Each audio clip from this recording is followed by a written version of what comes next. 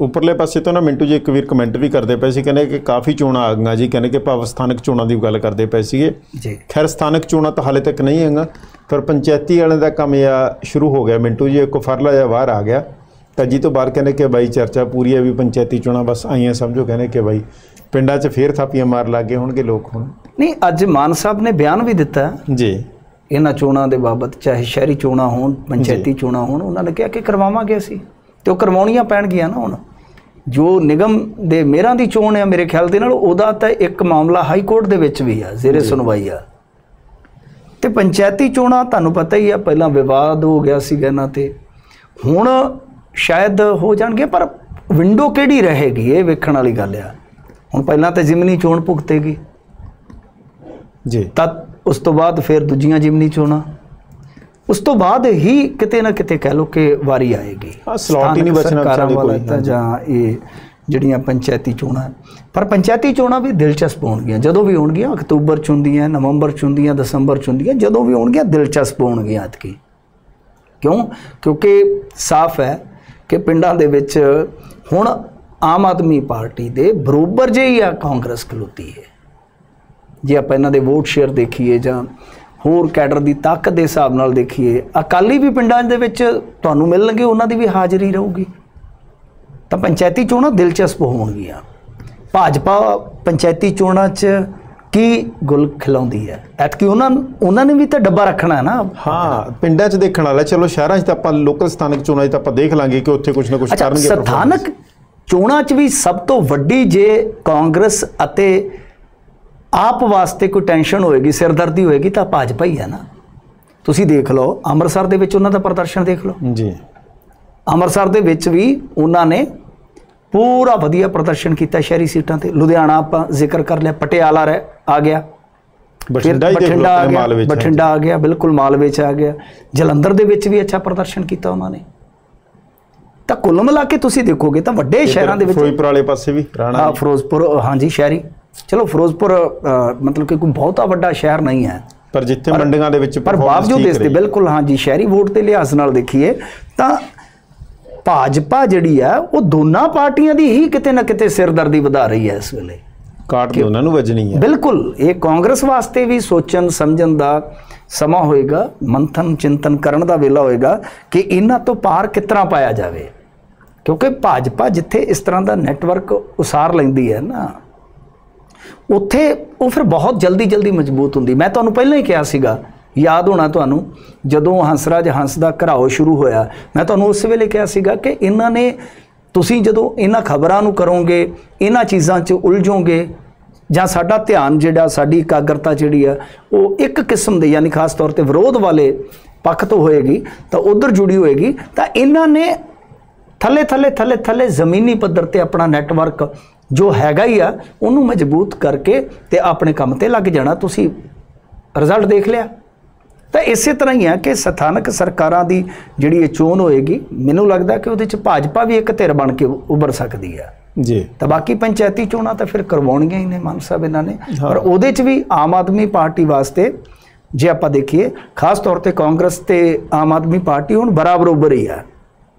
ਚਾਹੇ ਉਹ ਸ਼ਹਿਰੀ ਲਿਹਾਜ਼ ਆ, ਚਾਹੇ ਉਹ ਪਿੰਡ ਪਿੰਡ ਦਾ ਲਿਹਾਜ਼ ਆ, ਉਹ ਦੋਨਾਂ ਹੀ ਦੋਨਾਂ ਹੀ ਇਲਾਕਿਆਂ ਦੇ ਲਿਹਾਜ਼ ਨਾਲ ਦੇਖੋਗੇ ਤਾਂ ਇੱਕੋ ਜਿਹਾ ਹੀ ਆ ਕੰਮ ਹੋਣਾ। ਦੋਵੇਂ ਧਿਰਾਂ ਇੱਕੋ ਜੀਆਂ ਹੋ ਜੂ, ਹੁਣੇ ਨਵੇੜਾ ਹੁਣੇ ਤਾਂ ਨਹੀਂ ਨਵੇੜਾ ਹੋਣਾ ਨਵੇੜਾ ਤਾਂ ਇਲੈਕਸ਼ਨ 'ਚ ਹੋਏਗਾ। ਪਰ ਆਪਾਂ ਮੰਨ ਸਕਦੇ ਹਾਂ ਕਿ ਧਿਰਾਂ ਜਿਹੜੀਆਂ ਕਿ ਬਰੋਬਰ ਜਿਹੀ ਆ। ਜੀ ਜੀ ਜੀ ਜੀ। ਇਧਰੋਂ ਜਟਵੈੜ ਜੀ ਇਹ ਕਹਿੰਦੇ ਰਜਿਸਟਰੀ ਪਲਾਟਾਂ ਦੀ ਹਾਲੇ ਵੀ ਬੰਦ ਪਈ ਹੈ ਜੀ।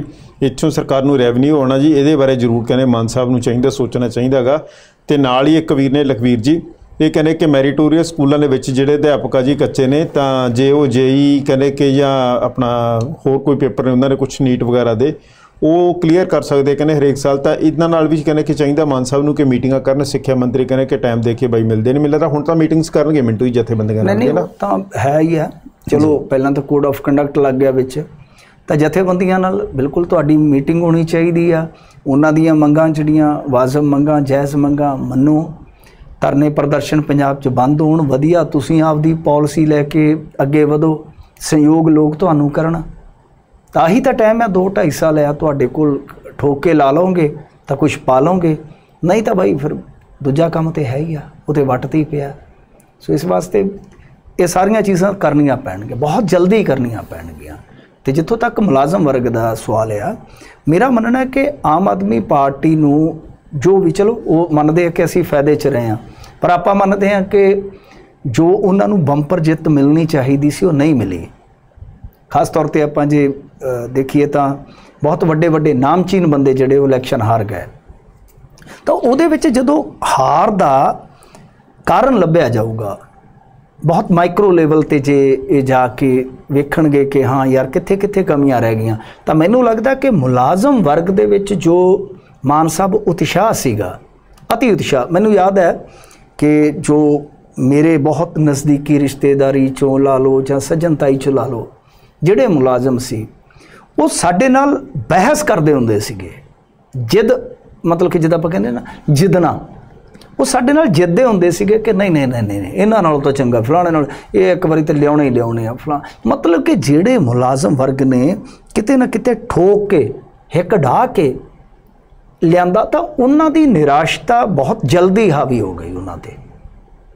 ਤਾਂ ਜਦੋਂ ਹਾਰ ਦੇ ਤੁਸੀਂ ਕਾਰਨ ਲੱਭੋਗੇ ਤਾਂ ਮੁਲਾਜ਼ਮ ਵਰਗ ਦੀ ਵੀ ਕਿਤੇ ਨਾ ਕਿਤੇ ਅਣਦੇਖੀ ਜਾਂ ਉਹਨਾਂ ਦੀ ਨਿਰਾਸ਼ਤਾ ਜਿਹੜੀ ਸੀਗੀ ਨਾ, ਉਹ ਵੀ ਗਿਣੀ ਜਾ ਸਕਦੀ ਹੈ ਮੇਰਾ ਮੰਨਣਾ ਹੈ ਕਿ ਮੁਲਾਜ਼ਮ ਵਰਗ ਵੀ ਇੱਕ ਉਦਾਸੀਨਤਾ ਰੱਖਦਾ ਸੀ ਇਹਨਾਂ ਦੇ ਪ੍ਰਤੀ, ਜੋ ਕਿਤੇ ਨਾ ਕਿਤੇ ਰਿਜ਼ਲਟ ਦੇ ਵਿੱਚ ਉਹ ਛੋਟੇ ਰੂਪ 'ਚ ਹੋ ਸਕਦੀ ਹੈ ਵੱਡੇ ਰੂਪ 'ਚ ਹੋ ਸਕਦੀ ਹੈ ਪਰ ਉਹ ਕਾਰਕ ਵਾਲੀ ਚੀਜ਼ ਜ਼ਰੂਰ ਹੈ ਉਹ। ਨਹੀਂ, ਹਾਂ ਬਾਕੀ ਮਾਨ ਸਾਹਿਬ ਫੀਡਬੈਕ ਲੈ ਲੈਣ ਗਰਾਊਂਡ ਦੇ ਉੱਤੇ ਉਹਨਾਂ ਨੂੰ ਪਤਾ ਲੱਗ ਜੂਗਾ ਕਿ ਬਾਈ ਕੀ ਫ਼ਰਕ ਆ ਜਾਂ ਕਿੱਥੇ ਜੇ ਖੜੇ ਆ, ਮੁਲਾਜ਼ਮ ਸਾਡੇ ਨਾਲ ਕਿੰਨਾ ਕੁ ਉਹਨਾਂ ਦਾ ਰੋਸਾ ਗਿਲਾ ਹੈਗਾ ਜੀ। ਤਾਂ ਇਹਦੇ ਨਾਲ ਹੀ ਮਿੰਟੂ ਜੀ ਆਪਾਂ ਗੱਲਬਾਤ ਤੋਰ ਗਏ ਜੀ, ਹੋਰ ਇੱਕ ਐਮਐਲਏ ਦੀ ਗੱਲ ਕਰਨੀ ਹੈ ਪਰ ਇੱਕ ਨਾਭੇ ਵਾਲੇ ਐਮਐਲਏ ਨੇ ਦੇਵ ਮਾਨ ਜੀ, ਉਹਨਾਂ ਨੇ ਵੀ ਇੱਕ ਪੋਸਟ ਜੀ ਪਾ ਰੱਖੀ ਹੈ, ਕਹਿੰਦੇ ਕਿ ਵੀ ਪਹਿਲਾਂ ਤਾਂ ਉਹ ਕਹਿੰਦੇ ਕਿ ਮੈਂ ਮਾਨ ਸਾਹਿਬ ਨੂੰ ਮਿਲ ਕੇ ਆਇਆ, ਮੈਨੂੰ ਗੁਰਮੰਤਰ ਦਿੱਤਾ, ਉਹਨਾਂ ਨੇ ਕਿਤੇ ਕਿਵੇਂ ਕੰਮ ਕਰਨਾ। ਤੇ ਅੱਜ ਉਹਨਾਂ ਨੇ ਪੋਸਟ ਜੀ ਵੀ ਪਾ ਦਿੱਤੀ, ਕਹਿੰਦੇ ਕਿ ਬਾਈ ਜਿਹੜੇ ਕੰਮਕਾਜ ਹੋਣਗੇ ਸਾਡੇ ਮੇਰੇ ਹਲਕੇ ਦੇ ਵਿੱਚ, ਉਹ ਮੇਰੇ ਵਲੰਟੀਅਰ ਤੇ ਜਿਹੜੇ ਲੋਕਲ ਲੀਡਰਸ਼ਿਪ ਆ ਉਹਨਾਂ ਦੀ ਨਿਗਰਾਨੀ ਦੇ ਵਿੱਚ ਹੀ ਹੋਣਗੇ ਜੀ ਕਹਿੰਦੇ ਕਿ ਬਾਈ। ਥੱਲੇ ਕਮੈਂਟ ਕਰੀ ਜਾਂਦੇ ਲੋਕ, ਕਹਿੰਦੇ ਬਾਈ ਲੀਡਰ ਤੇ ਅਫਸਰ ਤਾਂ ਸਾਡੀ ਸੁਣਦੇ ਨਹੀਂ ਹੈਗੇ, ਖਾਸ ਕਰ ਅਫਸਰ ਤਾਂ ਕਹਿੰਦੇ ਕਿ ਬਾਈ। ਨਹੀਂ, ਉਹਨਾਂ ਦੇ ਕਹਿਣ ਦਾ ਮਤਲਬ ਇਹ ਆ ਕਿ ਉਹ ਇੱਕ ਇਸ ਤਰ੍ਹਾਂ ਦਾ ਪੈਟਰਨ ਸੈੱਟ ਕਰ ਦੇਣਗੇ ਕਿ ਫਰਜ਼ ਕਰੋ, ਮੰਨ ਲਓ, ਜੋ ਮੈਂ ਅਰਥ ਕੱਢਦਾ ਤੁਹਾਡੇ ਕਹੇ ਮੁਤਾਬਕ ਕਿ ਫਰਜ਼ ਕਰੋ ਮੈਂ ਆ, ਮੇਰਾ ਕੋਈ ਜ਼ਿਆਦਾ ਸਿਆਸੀ ਵਜੂਦ ਨਹੀਂ ਆ ਬੰਦਾ ਸਧਾਰਨ ਬੰਦਾ ਵੈਸੇ ਵੀ ਸਧਾਰਨ ਬੰਦਾ ਹੀ ਆ ਮੈਂ ਕਿਹੜਾ ਕੋਈ ਮਤਲਬ ਕਿ ਹਾਲੀਵੁੱਡ ਵਾਲਾ ਆ। ਤਾਂ ਗੱਲ ਇਹ ਆ ਕਿ ਭਈ ਹੁਣ ਜੇ ਉਹ ਜਾਂਦਾ ਹੈ ਤਾਂ ਇਹਨਾਂ ਦੇ ਕਹਿਣ ਦਾ ਮਤਲਬ ਇਹ ਆ ਕਿ ਉਹ ਸਿੱਧਾ ਨਾ ਆਵੇ ਸਾਡੇ ਕੋਲ। ਉਹ ਉੱਥੋਂ ਦਾ ਪਿੰਡ ਦਾ ਮੁਹੱਲੇ ਦਾ ਜਿਹੜਾ ਵੀ ਸਾਡਾ ਮੋਹਤਬਾਰ ਆ ਐ ਕਰੇ ਵੀ ਉਹਨੂੰ ਨਾਲ ਲੈ ਆਵੇ। ਸਮਝਦੇ ਹੋ? ਹੁਣ। ਉਹਨੂੰ ਨਾਲ ਲੈ ਕੇ ਆਵੇ ਬੰਦਾ।